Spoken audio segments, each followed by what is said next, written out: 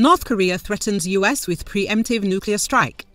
North Korea warned the United States about the possibility of carrying a preemptive nuclear strike over its attempts to unleash a nuclear war by deploying its strategic capabilities on the Korean peninsula, the Korean Central News Agency reported.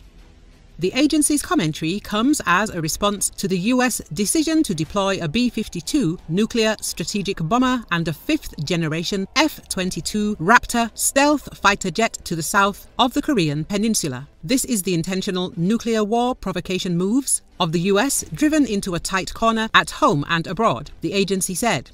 According to the document's authors, the US is scheming to pave the way for its resurrection in the Korean peninsula regarding the nukes of tyranny as an almighty solution, but its attempt can never be realized.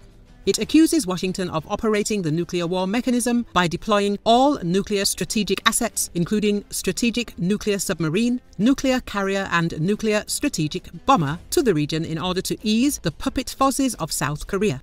Pyongyang views these actions as a grave military movement of preemptive nuclear attack aimed at physical removal of North Korea. The US would be well aware that the Korean peninsula is in a state of war by law and its strategic assets deploying in the puppet region are the first targets of destruction, the agency added. The period when the right to preemptive attack was the monopoly of the US has already come to an end.